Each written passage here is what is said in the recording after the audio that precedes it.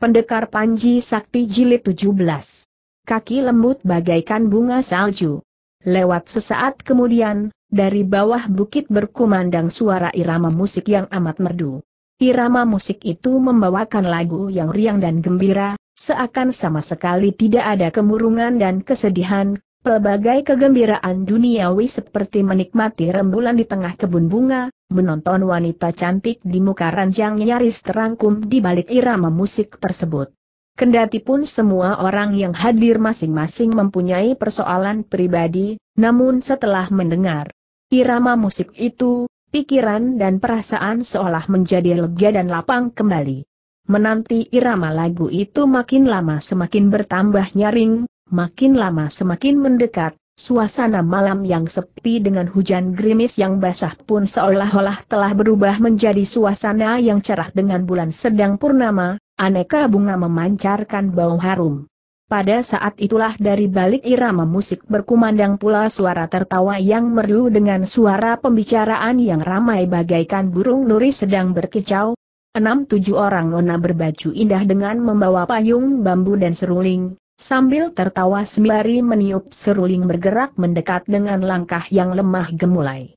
Pakaian yang mereka kenakan adalah gaun pendek yang sangat longgar, bagian bawahnya tidak bergaun panjang melainkan hanya mengenakan celana ketat sebatas dengkul hingga bagian betisnya yang putih mulus terlihat jelas. Kaki mereka yang putih mulus sebagai salju pun tidak ditutupi dengan kas maupun sepatu melainkan hanya mengenakan bakyak yang serasi warnanya dengan warna pakaian mereka. Bukan hanya irama musik dan suara tertawa mereka saja yang merdu, wajah mereka pun nampak cantik jeli tampak bidadari dari kahyangan. Di tengah kerumunan gadis-gadis itu terlihat pula sebuah bangku berbentuk tandu yang dilengkapi dengan penutup di bagian atasnya diusung berapa orang, tandu itu tampaknya memang dirancang secara khusus hingga bisa terhindar dari sengatan matahari maupun curahan hujan. Empat orang gadis berdendan serupa menggotong tandu itu dengan senyuman menghiasi wajah mereka, biar sedang menggotong sebuah tandu namun mereka seakan tak menggunakan sedikit tenaga pun. Di atas tandu itu duduk seorang manusia yang sangat aneh.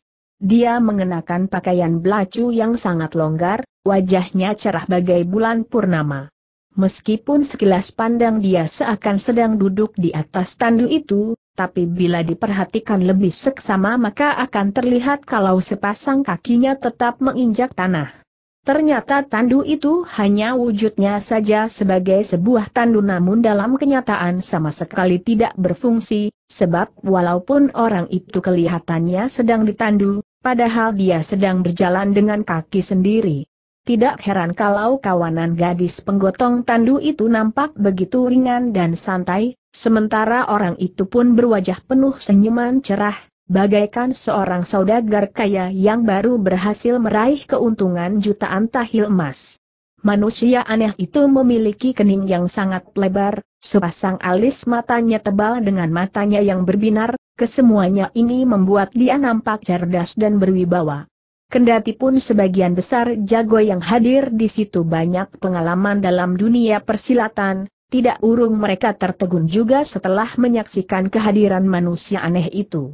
Ah, ah, ah, akhirnya kau datang juga terdengar suara merdu berkumandang dari balik rumah. Manusia berpakaian belaco itu tertawa tergelak, sahutnya, hahaha, setelah menerima pemberitahuan yang dibawa kucing hujin, Cai He segera melakukan perjalanan siang malam untuk menyusul kemari dengan langkah lebar. Dia langsung berjalan menuju ke arah rumah gubuk, terhadap kawanan jago yang hadir di situ, jangan lagi menyapa, melirik sekejap pun tidak. Kawanan gadis muda yang mengiringinya segera mengikuti pula di sampingnya. Saat itu irama lagu telah berhenti berdendang, seorang wanita cantik berbaju merah yang membopong seekor kucing putih, perlahan-lahan berjalan keluar dari balik rumah. Dengan sorot mata, tidak berkedip manusia aneh itu mengawasi perempuan itu lekat-lekat, tiba-tiba dia menghela napas panjang sambil berkata, aaai. Tidak disangka meski baru berpisah tiga hari, namun perpisahan ini serasa bagaikan puluhan tahun, benar-benar bagaikan pepatah yang mengatakan, sehari tidak bersua, Serasa tiga musim gugur telah berlalu tiga hari apa sahut Ye Ping sambil tertawa, kita sudah belasan tahun tidak pernah bersua ah masa ia seru manusia aneh itu sambil menggosok matanya dan menggeleng, tidak betul, tidak betul, kalau benar sudah ada belasan tahun, masa wajahmu masih kelihatan begitu muda dan cantik Ye Ping kontan tertawa terkekeh. Mulutmu memang selalu manis, Orang mati pun akan bangkit kembali setelah mendengar perkataanmu itu kedua orang itu berbincang sambil tertawa tergelak, seakan mereka benar-benar menganggap orang lain seperti orang mati. Selama banyak tahun, pernahkah kau datang mencari kutanya Yin Ping lagi? Bukan cuma mencari, entah sudah berapa banyak sol sepatuku yang robek gara-gara berkeliaran kian kemari. Yin Ping memandangnya dengan manis, Tanyanya lagi dengan nada sedih, kalau memang mencariku, kenapa sekarang kau tidak bertanya bagaimana keadaanku belakangan ini? Hari ini dapat bertemu lagi denganmu. Sudah merupakan satu kepuasan yang luar biasa, buat apa mesti menanyakan urusan yang lewat? Kalau mau bertanya, Semestinya bertanya apa yang selanjutnya akan kita lakukan aku memang sengaja meminta kau yang datang menjemputku karena aku ingin membuktikan apakah kau telah berubah pikiran atau belum. Jika kau telah berubah berarti tidak mungkin akan datang menjemputku, bukan begitu bila aku tidak datang menjemputmu, maka kau pun tidak akan datang mencari aku bukan Yin Ping manggut-manggut. Sambil tertawa tergelak kembali manusia aneh itu berkata, untung sampai detik ini aku belum pernah berubah pikiran. Yin Ping melirik sekejap sekeliling tempat itu, kemudian katanya sambil tertawa, betul hatimu memang belum berubah, tapi orangnya telah berubah, kalau dulu kau paling suka tampil keren, tampil necis dan suka berdandan, maka sekarang penampilanmu seenaknya sendiri, Tampil sembarangan manusia aneh itu tertawa tergelak. Hahaha, tepat sekali serunya, 30 tahun berselang bukan saja aku selalu tampil rapi, necis dan suka berdandan, bahkan aku mesti tampil prima, jauh lebih prima dari siapa pun, tapi 30 tahun kemudian, dia memandang sekejap kawanan gadis yang berada di sekelilingnya, kemudian melanjutkan, sekarang aku baru sadar, sebagai manusia kita tidak boleh menjadi budaknya pakaian, tidak boleh menjadi budaknya dandanan dan penampilan, pakaian model apa yang paling enak dikenakan, model itulah yang akan kukenakan. Yin Ping mengedipkan matanya berulang kali, kembali ujarnya sambil tertawa, baiklah, apa yang kau katakan tentang penampilan masih bisa ku terima, tapi bagaimana pula dengan tandumu itu? Apa yang sebenarnya terjadi? Kenapa seperti perahu karam saja? Untuk kesekian kalinya manusia aneh itu tertawa terbahak-bahak. Hahaha, tentu saja ada alasannya kenapa aku berbuat begitu. Coba bayangkan sendiri, bila aku duduk di atas tandu sementara mereka harus menggotong di bawah sana, sekalipun di mulut mereka tidak berkata-kata, bisa dipastikan perasaan hatinya tertekan dan tidak enak, Bila mereka merasa tidak nyaman, bagaimana mungkin aku bisa menikmati kesenangan, sebaliknya bila aku buat keadaan seperti ini, hahaha, aku masih tetap dapat menikmati betapa bahagianya ditandu gadis-gadis cantik, sementara mereka yang menggotong tandu pun merasa gembira, tak akan menggerutu dalam hati, kau senang, aku pun senang, nah, Keadaan seperti inilah yang paling menyenangkan. Keterangan semacam ini nyaris belum pernah terdengar sebelumnya. Tidak heran kalau semua orang melongo dibuatnya. Sambil menggelengkan kepalanya berulang kali Yen Ping menghela napas panjang, katanya, setelah berpisah belasan tahun, meski kau masih tetap suka menikmati hidup tapi taraf kenikmatanmu benar-benar telah mencapai suatu keadaan yang luar biasa. Semua orang yang hadir pun untuk sesaat seakan lupa dengan situasi yang sedang dihadapi, setiap orang nyaris dibuat kesemsem dan terperana oleh tindak tanduk serta penuturan manusia aneh itu. Suto Xiao pun sadar bahwa manusia aneh itu memiliki kepandaian silat yang luar biasa, dia berharap orang itu segera membawa pergi perempuan cantik berbaju merah itu sehingga tidak mengganggu urusannya. Siapa tahu pada saat itulah tiba-tiba manusia aneh itu berpaling, Sorot matanya yang tajam mengawasi sekejap sekeliling tempat itu, ketika menatap wajah Tia Tiong Tong, dia seakan mengawasinya beberapa kejap lebih lama. Tia Tiong Tong berdiri murung di tengah hujan, seluruh tubuhnya basah kuyup, keningnya berkerut, namun pelbagai alasan yang menghinggapi dirinya tidak sampai melenyapkan kegagahan serta keperkasaan dirinya. Sementara kawanan gadis cantik itu pun diam-diam saling berbisik sambil melempar kerlingan metu dan senyuman manis ke arah pemuda itu. Apakah orang-orang itu sahabatmu? Tanya manusia aneh itu kemudian sambil berpaling. Yin Ping tertawa terkekeh. Hanya pemuda yang menarik perhatian adik-adik kecilmu itu saja yang ku kenal, menurut pendapatmu, dia termasuk manusia berbakat kelas berapa manusia aneh itu ikut tertawa tergelak. Hahaha, kalau kawanan budak itu pun sampai ikut terpikat, tentu saja dia termasuk orang yang hebat, hanya sayang wajahnya murung dan penuh kesedihan sehingga tercermin kalau jiwanya sedikit agak sempit ya Tiong Tong hanya mengawasi orang itu sambil tertawa hambar, dia seakan tidak ingin menjawab tanggapan itu. Manusia aneh itu sama sekali tidak memperhatikan kawanan jago lainnya, mendadak dia melompat turun dari tandunya, kemudian sambil menjura berkata, Hujin, silahkan naik tandu pundaknya tidak nampak bergerak, ujung lengan bajunya sama sekali tidak bergoyang, tahu-tahu tubuhnya sudah melayang maju ke depan, hal ini memperlihatkan kalau ilmu meringankan tubuh yang dimilikinya luar biasa sekali. Kau suruh aku menaiki tandu semacam itu terdengar Yin Ping berteriak sambil tertawa, terima kasih, aku mah tidak sedih untuk menaikinya. Hahaha, kenapa kau pun berubah jadi hidup sederhana? Tandu semacam ini belum tentu bisa kau naiki di hari biasa Yin Ping tertawa lebar, akhirnya dia berjalan menuju ke depan. Suto Xiao menyangka mereka segera akan pergi, diam-diam dia menghembuskan napas lega. Siapa tahu manusia aneh itu berjalan menghampiri tangga itu, sambil menengadah tegurnya, udara di atas dingin dan basah, kau tidak kedinginan dengan pakaian tipis muswi lengkong menghela napas panjang, senandungnya, tiada hawa dingin di puncak ketinggian, apa nian keinginanmu hahaha, aku adalah seorang lelaki yang paling menyayangi gadis lembut, nona cantik wahai nona cantik, Bersediakah kau kembali ke alam dunia dia tidak bakal mau turun ke bawah bentak Suto Xiao tiba-tiba. Sambil tertawa manusia aneh itu melirik sekejap ke arahnya, kemudian bertanya.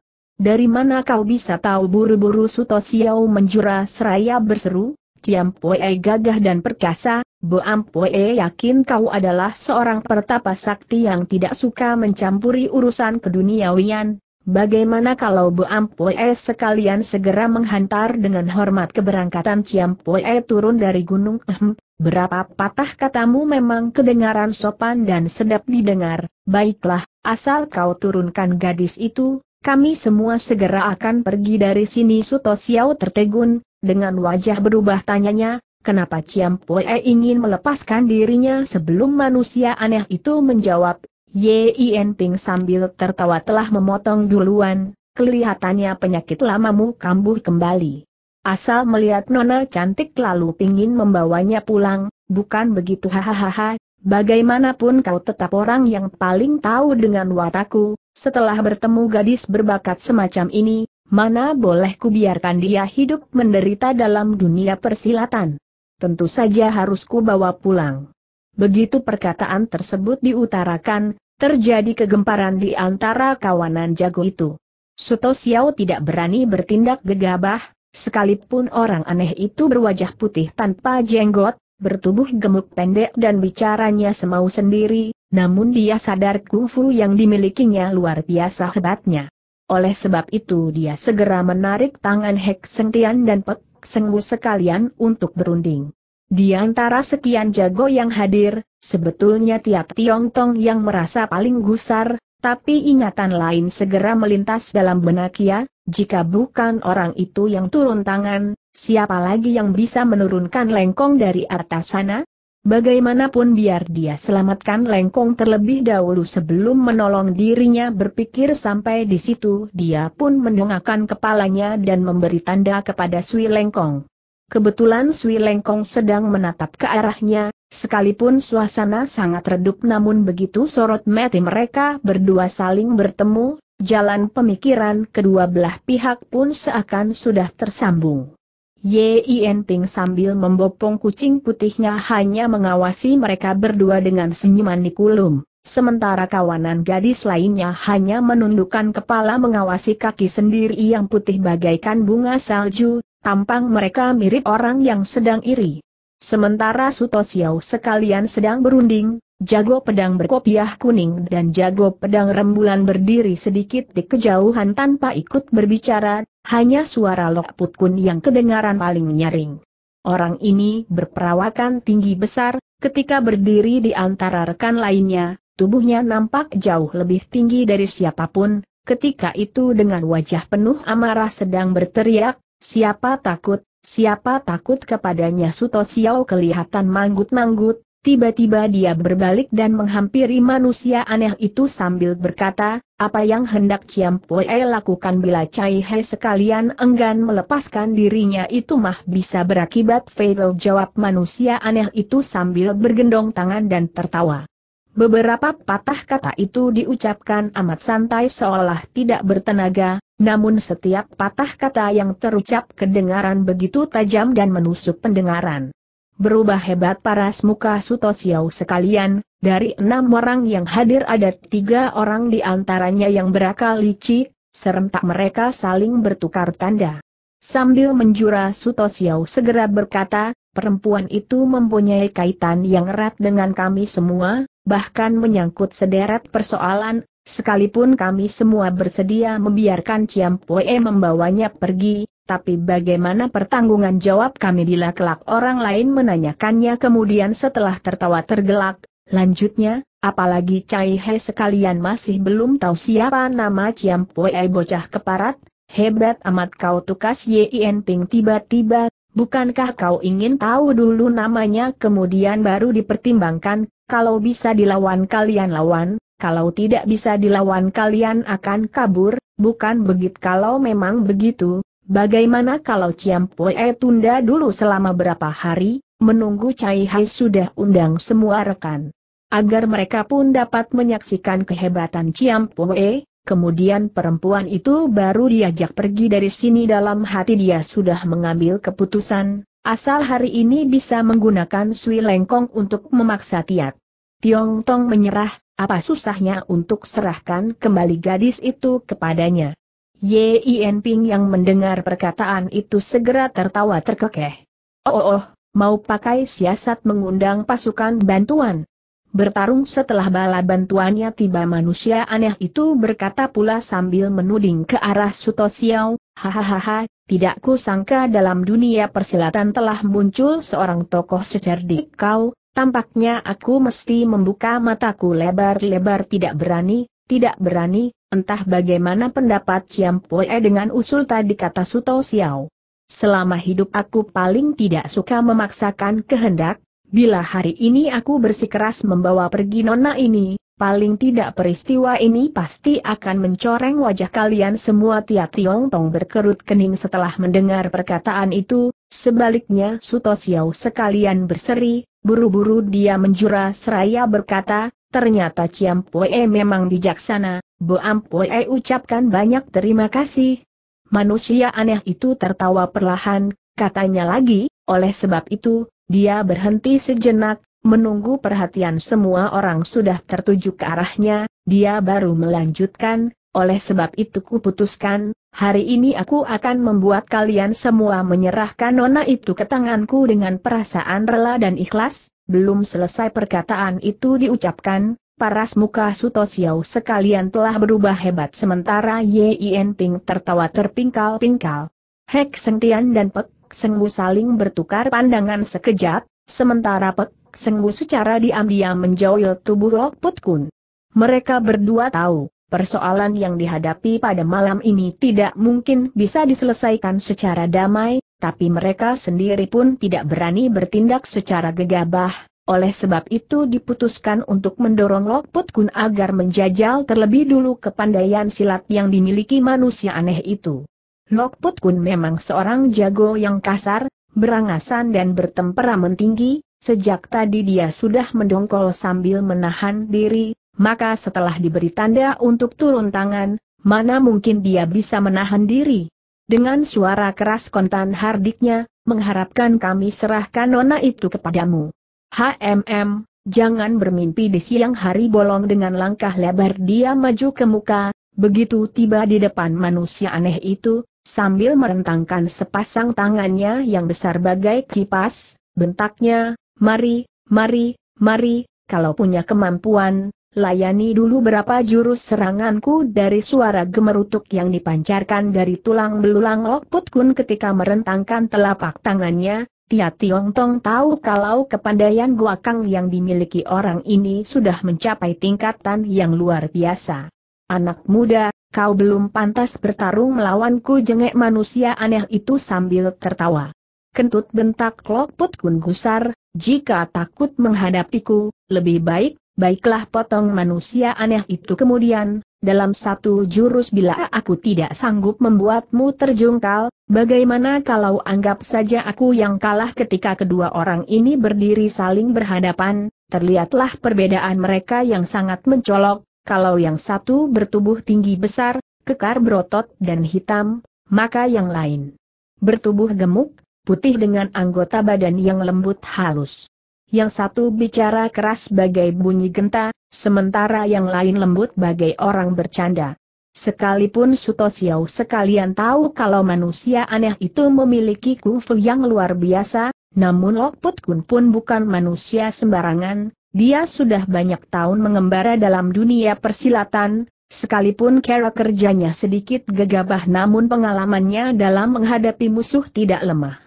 Kendatipun ilmu silat yang dimiliki manusia aneh itu jauh melebihi lawannya, tapi kalau ingin menghajarnya hingga jatuh terpelanting dalam satu gebrakan saja, jelas lebih susah daripada naik ke langit.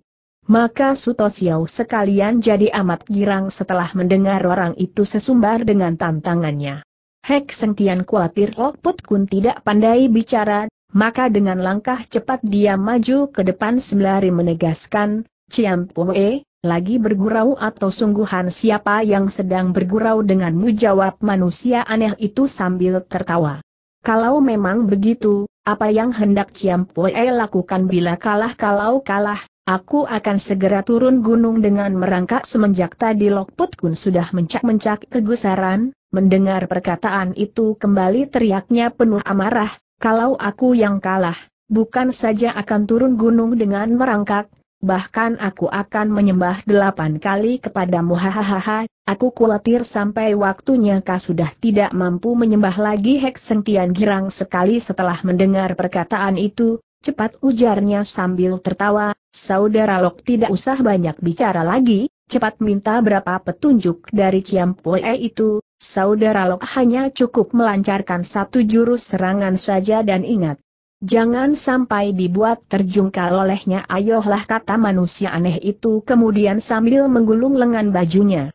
Dia berdiri amat santai, tidak menyiapkan diri, tidak pula menghimpun tenaga dalamnya, seakan seorang lelaki dewasa yang siap menghadapi seorang bayi cilik.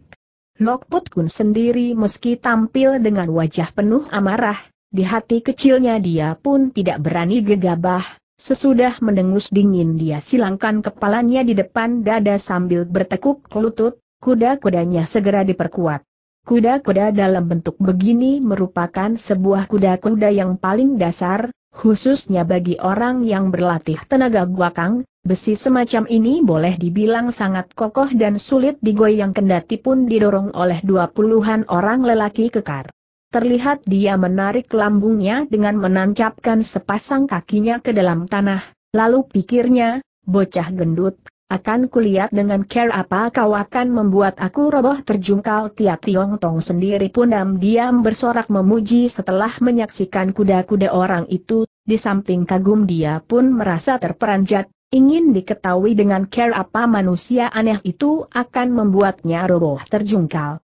Diiringi bentakan nyaring Lokput Kun mulai melontarkan pukulannya, di tengah angin pukulan yang menderu-deru. Dengan jurus Taisan Yateng, Bukit Taisan menindih kepala, dia bacok-batok kepala orang itu.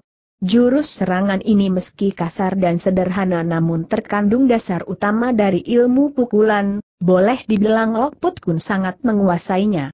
Apalagi dengan perawakan tubuhnya yang tinggi besar, seperti nama jurus serangan itu, kekuatannya boleh dibilang bagaikan tindihan dari sebuah bukit taisan.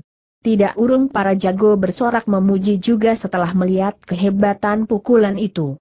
Manusia aneh itu masih berdiri dengan senyuman di wajah, dia tidak menghindar pun tidak berusaha berkelit. Diam-diam Lokput Kun kegirangan, pikirnya, sekalipun kau ingin menggunakan tenaga dalammu untuk mentalkan aku, tidak nanti tubuhku akan roboh terjungkal sambil memperkuat kuda-kudanya sekali lagi dia menghujamkan kepalanya ke bawah. Blaam sepasang pukulan maut dari Lokput Kun segera bersarang telak di atas bahu manusia aneh itu. Ternyata orang itu tidak mementalkan tubuh lawannya dengan getaran tenaga dalam, tubuh Lokput Kun masih tetap berdiri bagaikan sebuah pagoda baja, sebaliknya tubuh. Manusia aneh itu pun terhajar bagaikan sebuah paku yang tertancap ke dalam tanah. Semua orang merasa terkejut bercampur girang, Loh Putkun sendiri pun agak termangu melihat hasil pukulannya itu. Belum sempat ingatan kedua melintas lewat, mendadak terdengar manusia aneh itu berseru sambil tertawa terbahak-bahak, sekarang, berbaringlah kau secepat kilat dia menggetarkan sepasang tangannya mencengkeram ke depan, karena tubuh pendeknya sebagian menancap di tanah, maka arah serangannya persis mengarah sepasang kaki Lok Putkun yang tinggi besar. Waktu itu Lok Put Kun sedang memperkokoh sepasang kakinya dengan sepenuh tenaga, mimpi pun dia tidak menyangka kalau lawannya akan menggunakan jurus serangan tersebut untuk mengancam kakinya. Dalam keadaan begini sulit baginya untuk menghindarkan diri, tahu-tahu sepasang kakinya terasa sakit hingga merasuk tulang, diiringi jeritan kaget tahu-tahu tubuhnya sudah terlempar ke udara dan roboh terkapar di atas tanah. Kenyataan semacam ini sungguh di luar dugaan siapa pun, kawanan jago yang hadir hanya bisa berdiri melongo dengan metu, terbelalak, tidak seorang pun mampu mengeluarkan suara jeritan. Diiringi suara tertawa nyaring manusia aneh itu melompat keluar dari dalam tanah, sebuah liang yang cukup dalam segera muncul di atas tanah. Menggunakan tubuh untuk menancap ke dalam tanah yang keras, Kepandaian silat semacam ini boleh dibilang belum pernah terdengar dalam dunia persilatan, seandainya tidak disaksikan dengan mata kepala sendiri, siapa pun tidak akan percaya dengan kenyataan tersebut. Kenapa kau belum menyembah kepadaku terdengar manusia aneh itu menegur. Lokput Kun membentak keras, dia berusaha merangkak bangun, siapa sangka bantingan tersebut ternyata kuat sekali, bantingan keras yang membuat sekujur tubuhnya lindu dan sakit, baru merangkak setengah jalan, kembali tubuhnya roboh terjengkang. Pek menghela napas panjang, cepat dia membangunkan rekannya itu. Lokput Kun memandang Hek dan Pek Sengbu sekejap, kemudian memandang pula ke arah manusia aneh itu, Tiba-tiba sambil mendekap di bahu Pek Sengbu, dia mulai menangis terseduh-seduh. Menyaksikan hal ini Suto Xiao hanya bisa mendongkol bercampur geli. Manusia aneh itu pun tertawa lebar, ujarnya kemudian, masih ada lagi yang ingin menjajal kemampuanku semua orang hanya saling berpandangan, siapa pun tidak berani menjawab. Manusia aneh itu segera mendongakkan kepalanya tertawa terbahak-bahak, serunya lagi, jika kalian tidak keberatan, aku pun tidak akan berlaku sungkan lagi sambil berpaling serunya, murid-muridku, cepat turunkan nona itu tampak kawanan. Nona itu saling mendorong di antara rekan sendiri dengan wajah cemberut, ternyata tidak seorang pun yang bersedia turun tangan. Yin Ping yang melihat itu tertawa terkekeh, katanya, bila kalian ingin mengikutinya, mulai sekarang harus belajar tidak cemburuan, kalau tidak, tanggung kalian akan mampus duluan karena mendongkol kawanan nona itu tertawa geli, akhirnya sambil dorong-mendorong mereka berjalan mendekat.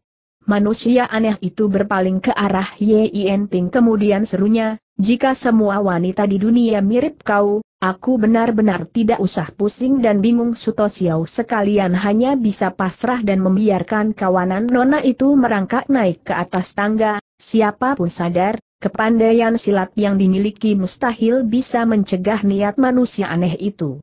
Tunggu sebentar mendadak terdengar bentakan keras berkumandang dari puncak tangga. Ketika semua orang mendongakkan kepalanya, tampak Sim Sim entah sejak kapan telah berdiri di puncak tangga.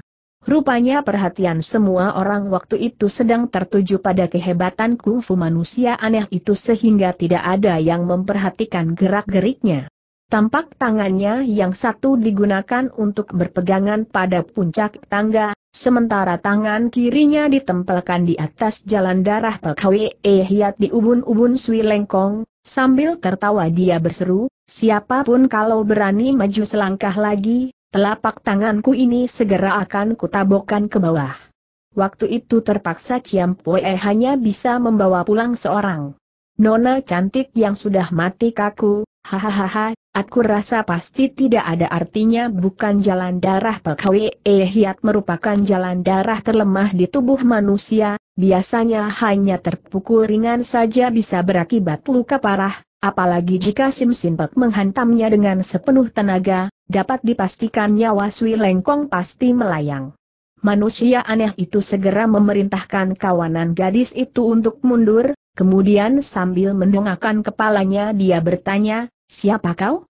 Apa yang hendak kau lakukan Tiap Tiong Tong ikut merasa panik, dia genggam sepasang tinjunya kuat-kuat. Perlahan-lahan Sim Sin Pek berkata, aku hanya seorang angkatan muda yang tidak bernama, saat ini tidak ada permintaan lain kecuali berharap setelah aku turun ke bawah nanti, Ciampoe dan sekalian nona-nona itu tidak mengusik seujung rambutku mendengar permintaan yang sangat sederhana, tanpa berpikir panjang lagi manusia aneh itu menyanggupi, baiklah, aku kabulkan permintaanmu, sekarang bawalah nona itu turun ke bawah. Semula Hek Sentian dan Pek Sengbu menyangka Sim Sin Pek sedang membantu mereka untuk memaksakan kehendaknya, mereka jadi mendongkol bercampur kecewa setelah mendengar perkataan itu. Tidak tahan lagi Pek Sengbu menyelinap ke belakang Ce Toaho dan diam-diam memberi tanda kepadanya. Siapa tahu Sim Sin Pek berlagak seolah tidak melihat, setelah menotok jalan darah di tubuh Sui Lengkong dia membebaskan ikatan talinya sambil berseru, minggir semua kemudian dengan cepat dia melompat turun ke bawah. Kini biarpun ikatan tali di tubuh Sui Lengkong telah dilepas namun tubuhnya masih tetap tidak mampu bergerak, dia hanya bisa mengawasi Tia Tiong Tong dengan mati mendolong, entah berapa banyak patah kata yang terkandung di balik sorot matanya itu. Tia Tiong Tong merasakan hatinya pedih bagaikan disayat-sayat, Seandainya orang yang menghadapi kejadian tersebut saat ini adalah Im Cheng yang bertemperamen tinggi, niscaya tanpa berpikir panjang dia sudah menerkam ke depan. Tapi Tia Tiong Tong bukan Im Cheng, dia sadar kekuatannya seorang diri bukan saja tidak akan mampu berbuat banyak, sebaliknya justru bisa mengancam keselamatan jiwa Sui Lengkong, oleh sebab itu sambil menggertak gigi dia menahan diri tanpa bergerak. Manusia aneh itu tertawa terbahak-bahak, dengan langkah lebar dia maju mendekat. Ciam Poe Sim Pek segera berseru sambil tertawa, aku harap, dengan cepat dia mendorong Sui Lengkong ke depan. Dengan lembut manusia aneh itu memegang bahu nona itu, katanya sambil tertawa, anak baik, meski kau tidak meminta sesuatu kepadaku, tapi aku pun tidak bakal merugikan dirimu terima kasih Ciampu seru Sim sambil membungkukkan tubuh memberi hormat. Kemudian setelah berhenti sejenak, katanya lagi sambil tertawa, Nona Sui cerdas dan berparas cantik, dia tidak malu disebut bidadari dari dunia, tapi sayang, dia menggelengkan kepalanya, tutup mulut dan tidak berbicara lagi. Tapi sayang kenapa tidak tahan manusia aneh itu bertanya. Tapi sayang nona itu sudah kucekoki dengan sedikit obat beracun sahut Sim Simple sambil tertawa, bila racun itu tidak segera diobati maka dalam dua jam kemudian dia akan mati dengan pendarahan dari tujuh lubang inderanya kau, kau, di manakah simpan obat pemunah itu teriak manusia aneh itu gusar. Ada dalam saku boam poe bawa kemari hardik manusia aneh itu sambil menggetarkan tangannya mencengkeram tubuh Sim Simple. Dengan cekatan pemuda itu mundur berapa langkah, ujarnya lagi sambil tertawa, bukankah tadi Ciam Poe sudah berjanji tidak akan menyentuh seujung rambut Bo Am Poe? Masa sudah lupa dengan janji tersebut dengan wajah tertegun manusia aneh itu menarik kembali tangannya.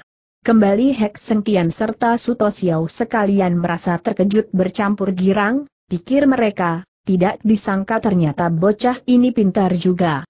Dengan wajah penuh kebanggaan Sim Sim tersenyum, ujarnya, walaupun ilmu silat yang kumiliki tidak sebanding dengan kehebatan Ciam Poe, tapi racun obat yang kugunakan terbuat dari gabungan 36 macam ramuan yang tidak mungkin bisa dipunahkan siapa pun apa yang kau inginkan tanya manusia aneh itu kemudian sambil menurunkan kembali tangannya. Bila Ciam Poe tidak ingin membawa pulang sesosok mayat, lebih baik serahkan dulu kepadaku, atau kalau tidak, silahkan Ciam Poe menyanggupi tiga buah syaratku kentut, kau anggap kami bisa diancam tentu saja, Tentu saja, mana mungkin Ciam Poe bisa kuancam seru Sim Simpe sambil tersenyum, sayangnya nona ini cantik bak bidadari, perawakan tubuhnya juga ramping menggiurkan, tidak tahan manusia aneh itu berpaling memperhatikan sekejap gadis cantik yang berada di sisinya, walaupun paras mukanya waktu itu pucat tias namun alis matanya yang lentik, biji matanya yang bening, pinggangnya yang ramping serta tubuhnya yang gemetar ketika terhembus angin, benar-benar mendatangkan daya pikat yang luar biasa. Dibandingkan dengan kecantikan Yin Ping maka nona ini nampak lebih polos, lebih bersih dan alim, sesosok tubuh wanita yang belum pernah dijumpai sebelumnya. Tidak tahan lagi dia menghela napas panjang, ujarnya kemudian, apa syaratmu, cepat katakan Sim Sim Pek tertawa bangga, Cepat dia berpaling ke arah Hak Sengkian, setelah memberi hormat ujarnya, Tecu tidak berani mendahului guru, untuk syarat yang pertama silahkan suhu yang tentukan anak pintar puji Hek Sengkian tertawa.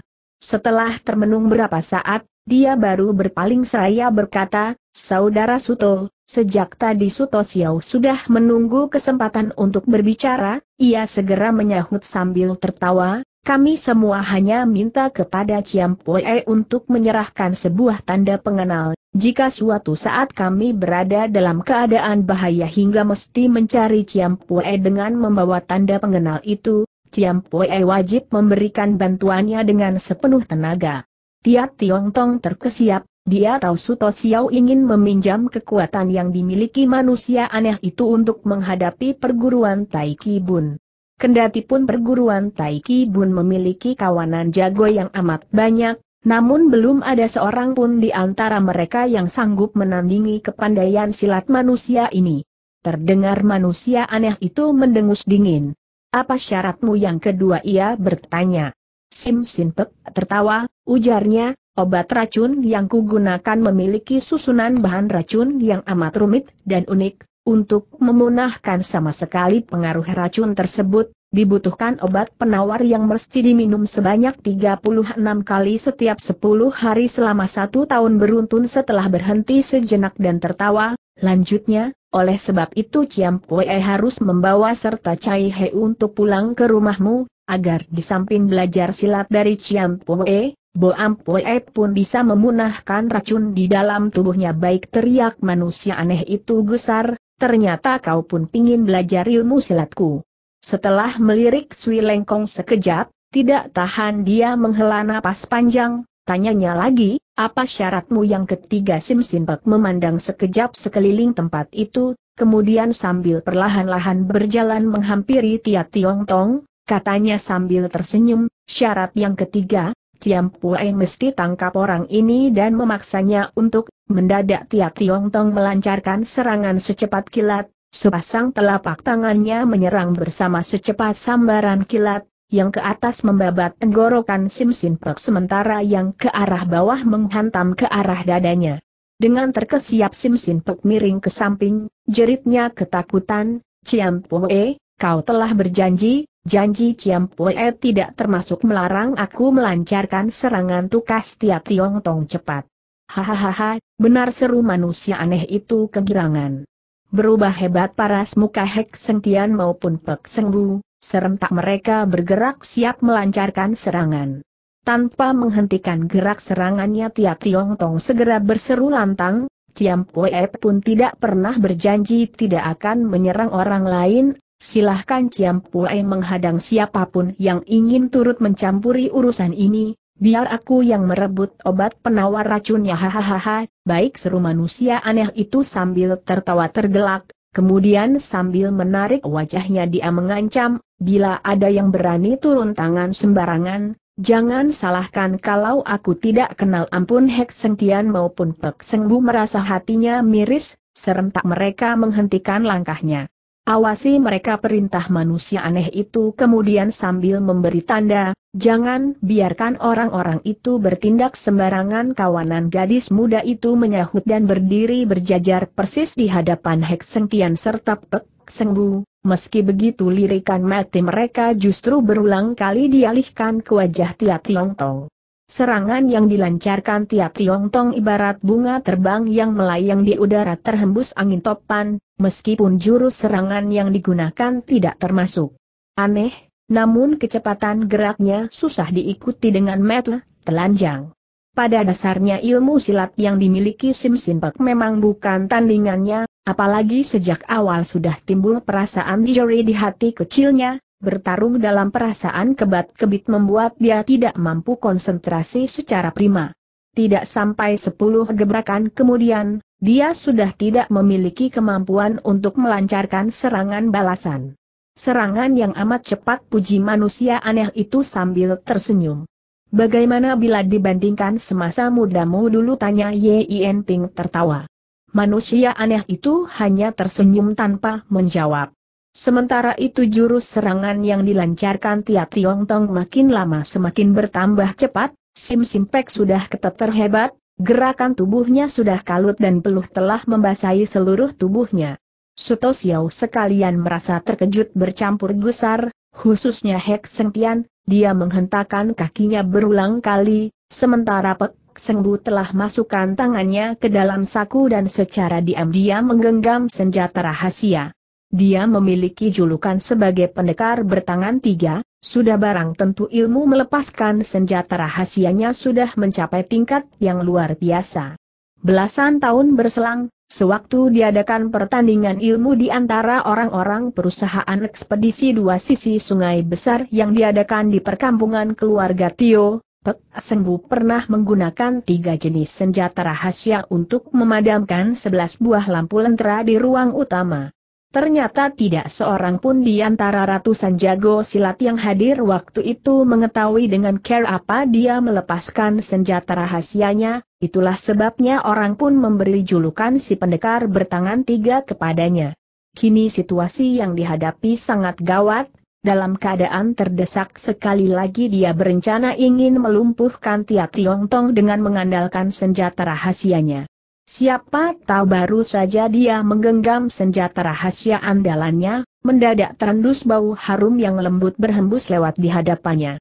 Tahu-tahu seorang gadis bercelana hijau telah setengah merebahkan diri dalam pelukannya sambil berbisik lembut, kau sedang merogoh benda apa sih?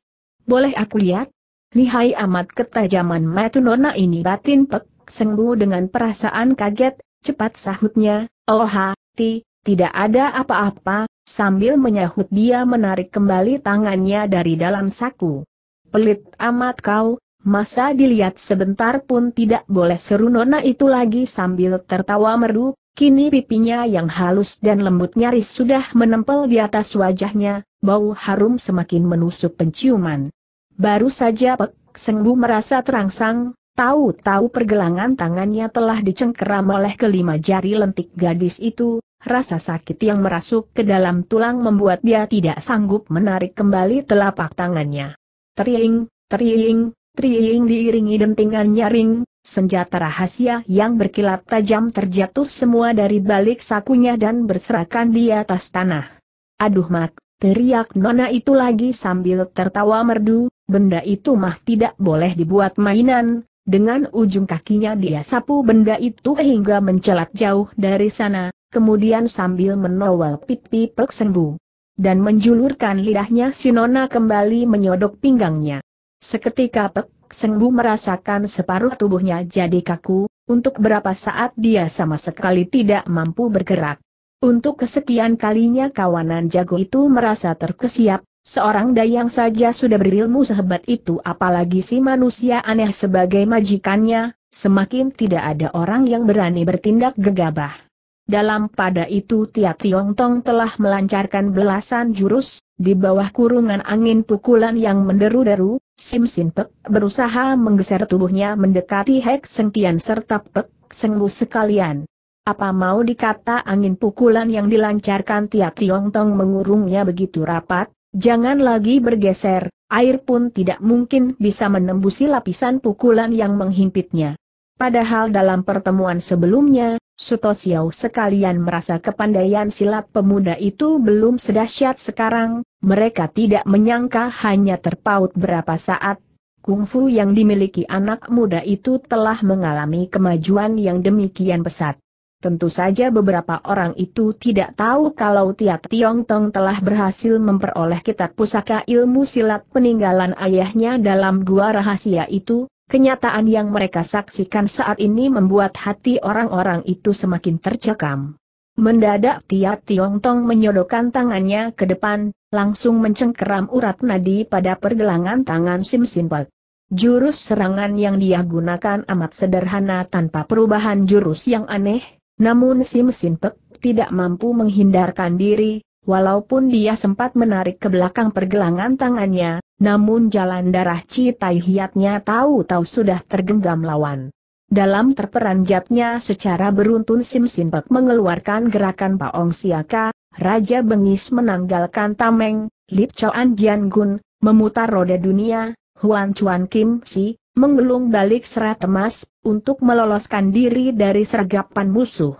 Siapa tahu telapak tangan Tia Tiong Tong yang telah menempel di atas pergelangan tangannya seakan susah ditanggalkan lagi, walaupun secara beruntun dia telah berganti dengan berapa gerakan, namun jari tangan lawan masih menempel ketat. Kenyataan ini membuat hatinya tercekat. Bercampur panik, peluh sebesar kacang kedelai mulai bercucuran membasahi seluruh tubuhnya. Sudah kau ketahui, Siapakah aku jengek tiap tiong tong sambil tertawa dingin. Tahu, sahut Sim Sim Pek dengan nada gemetar. Tiba-tiba tiap tiong tong mencengkeram dagunya dan menjapitnya kuat-kuat. Rupanya pemuda itu memang sengaja memancing Sim Sim Pek agar mengucapkan kata tahu, sebab di saat dia mengutarakan kata ta, mulutnya berada pada posisi terbuka, saat itulah Tia Tiong Tong mencengkeram dagunya sehingga dia sama sekali tidak mampu merapatkan mulutnya lagi. Secepat kilat Tia Tiong Tong merogoh ke dalam sakunya, mengambil sebutir pil berwarna hitam kemudian setelah dijejalkan ke mulut Sim Sim Pek, tangan kirinya mendorong bagian bawah dagunya dan menekan ke atas kuat-kuat. Glegek, Sim Sim Pek telah menelan pil itu ke dalam perutnya. Tiat Tiong Tong segera tertawa terbahak-bahak, tegurnya, hahaha, sudah tahu, pil apa yang kau telan? Waktu itu Sim Simpak merasakan bau amis yang busuk dan aneh muncul dari balik tenggorokannya, tatkala satu ingatan melintas di dalam benaknya, dengan wajah berubah pucat lantaran ngeri, jeriknya gemetar, MA titik masa pil beracun tepat sekali jawab Tiat Tiong Tong tergelak, kau butuh obat penawarnya sementara Sim Simpek masih termangu, Yin Ping beserta kawanan gadis lainnya sudah tertawa terkekeh lantaran geli. Manusia aneh itu berseru pula sambil tertawa, bagus, bagus sekali, inilah yang dinamakan siapa menanam kebusukan, dia akan menulai bencana. Senjata makan cuan sayangnya obat racunku jauh lebih mengerikan Tiap Tiong Tong menambahkan, jika dalam satu jam tidak peroleh obat penawarnya, maka racun itu akan mulai bekerja, seluruh tubuh akan mulai membusuk lalu mengelupas kulitnya satu demi satu, oh oh, oh tidak terkirakan rasa sakit dan tersiksanya pucat tias selembar wajah Sim Simple, sepasang kakinya terasa lemas, tubuhnya menggigil keras, nyaris dia roboh terjungkal ke tanah saking takut dan ngerinya. Sambil menyodorkan sebuah botol obat dari dalam sakunya, dia berseru lirih, botol ini, botol ini berisikan obat penawar racun untuk, untuk Nona Sui Oha, kau pingin barter obat penawar racun dengan kutanya Tia Tiong Tong. Sim Simpek mengangguk berulang kali tanpa sanggup mengucapkan sepatah kata pun. Hanya satu botol ini kembali Tia Tiong Tong bertanya. Sembari merangkak bangun dari atas tanah sahut Sim Simpek, mana mungkin hamba memiliki obat beracun yang diramu dari 36 macam bahan beracun. Tadi, tadi hanya bergurau saja, obat racun itu hanya obat racun biasa, Penawarnya pun hanya satu macam sungguh Tia Tiong Tong tertawa dingin. Sang, sungguh, bila berbohong biar aku mati disambar geledek terdengar Ye Yen Ping menghela napas sambil gelengkan kepalanya berulang kali. Aaai, dilihat tampangnya sih gagah dan ganteng, sayang jiwanya pengecut, ternyata begitu takut mampus, sayang, aaai sungguh sayang Sim Sin pura-pura tidak mendengar, nyaris botol yang berada dalam genggamannya terjatuh ke tanah. Sambil tertawa dingin Tiati menyambut botol obat itu. BAA, bagaimana dengan obat, obat penawar racunku, teriak Sim Simpek, tiba-tiba. Penawar racun apa? Mana aku punya obat penawar racun sahut Tiati Tiong Tong sambil menarik wajahnya. Pecah nyali Sim Simpek setelah mendengar jawaban itu, dia roboh terduduk di atas tanah, Setengah menangis jeritnya, Saudara Tiat, kau, apa? Kau memanggil aku dengan sebutan apa tukas Tiat Tiong Tong sambil tertawa dingin. PAA, Paman Tiat, Empek Tiat, tolonglah aku, rengek Sim Simpek, dengan wajah hampir menangis, berbuatlah bajik, berbuatlah mulia, tolonglah aku, tolong hadiahkan obat penawar racun untukku lain kali masih berani mencelakai orang tidak berani, lain kali hamba tidak berani lagi. Dengan sorot tajam Tiap Tiong Tong mengamati wajah pemuda itu beberapa saat, tiba-tiba dia mendongakkan kepalanya dan tertawa tergelak. Hahaha, dasar manusia dungu, dasar goblok, racun apa yang kau telan tadi? Obat itu tidak lebih hanya obat luka luar Sim Simpek, tertegun, untuk sesaat dia hanya bisa berdiri melongo sambil mengawasi kawanan gadis itu tertawa terpingkal-pingkal. Kembali Tia Tiong Tong berkata sambil tertawa, kalau tidak berbuat begitu, memangnya kau bersedia menyerahkan obat penawar racun itu? Obat luka luar belum pernah ditelan orang, rasanya kau telah menjadi orang pertama yang mencicipinya, bagaimana? Enak bukan rasanya Sim Simple hanya berdiri terbelalak dengan mulut melongot, jangan lagi berbicara, dia sendiri pun bingung mesti menangis atau tertawa. Di tengah gelak tertawa yang riuh, paras muka Hek Seng Tian serta Pek Senggu sekalian telah berubah jadi pucat pias bagai mayat. Dengan jengkel Suto Xiao menghentakkan kakinya berulang kali ke atas tanah, dia seperti ingin mengucapkan sesuatu, tapi akhirnya setelah menghela napas panjang katanya, mari kita pergi betul, sudah waktunya kalian harus pergi manusia aneh itu menambahkan. Dengan gemas Suto Xiao melotot berapa kejap ke arah Tia Tiong Tong, sementara Hek Sengtian dengan benci mengumpat, tunggu saja suatu saat nanti, akhirnya sambil menggertak gigi, bersama Pak Senggu sekalian beranjak pergi dari situ. Jago pedang berkopiah kuning melotot juga ke arah Tia Tiong Tong seraya berkata, kelompok jago pedang pelangi pasti akan minta pelajaran lagi di kemudian hari baik, akan kutunggu sahut Tia Tiong Tong santai. Big Wat Kiam Kek melirik sekejap ke arah pemuda itu sambil melemparkan senyuman manis, tapi dia segera ditarik pergi C.E. Toaho. Menanti semua orang sudah berlalu, Sim Simpek baru seakan tersadar kembali, tergopoh-gopoh dia bangkit berdiri sambil berteriak ketakutan, suhu tunggu aku, dengan sempoyongan dia lari menyusul rombongannya. Rombongan jago itu datang secara gagah perkasa tapi harus angkat kaki dalam keadaan yang mengenaskan, dalam waktu singkat bayangan tubuh mereka sudah lenyap dari pandangan. Setelah musuh tangguh berhasil dipukul mundur, Tia Tiong Tong merasa semangatnya berkobar kembali, pikirnya, dengan kedudukan manusia aneh itu, rasanya mustahil dia akan menggunakan care paksa untuk merampas obat penawar racun ini, apalagi obat sudah berada di tanganku, masa dia tetap bersikeras akan membawa pergi Sui Lengkong belum habis ingatan itu melintas lewat, tiba-tiba terdengar manusia aneh itu menegur sambil tertawa, anak muda, kau tidak datang memohon kepadaku Tiong Tong melongot, pikirnya keheranan, seharusnya kau yang datang memohon kepadaku, kenapa malah aku yang harus memohon kepadamu? Berpikir begitu segera tanyanya, mohon, mohon apa mohon kepadaku agar meloloskan obat penawar racun itu kepadanya. Kalau tidak, bila aku telah membawanya pergi sedang dia mati gara-gara keracunan, memangnya kau tidak akan bersedih hati soal ini, soal ini, manusia aneh itu tertawa terbahak-bahak, ujarnya lagi dengan bangga, telah kuputuskan untuk membawa pergi nona itu, jadi obat penawar racun itu akan kaserahkan atau tidak, itu menjadi urusanmu sendiri paras muka Sui Lengkong pucat pias, tubuhnya gontai dan gemetar keras. Tiap Tiong Tong sendiri pun merasa gusar bercampur kaget, dia merasakan hatinya sakit bagaikan diiris-iris.